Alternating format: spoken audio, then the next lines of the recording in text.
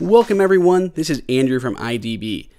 Apple Watch WatchOS 3.2 Beta 1 was just released and includes a few cool changes, but what we're going to focus on today is going to be a new feature called Theater Mode.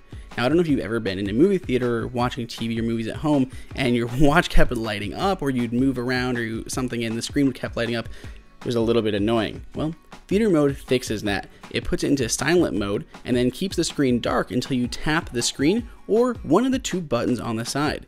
You'll notice that the actual icon there is lit up as well as on the top of the screen you'll see another little theater mode icon that's just letting you know that theater mode is enabled.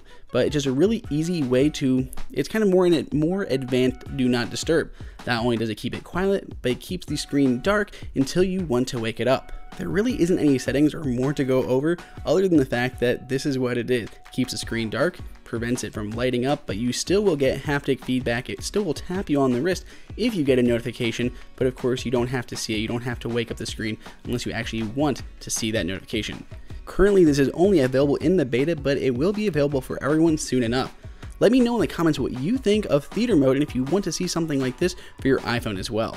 Please give this video a thumbs up, go ahead and subscribe. Until next time, this is Andrew for IDB.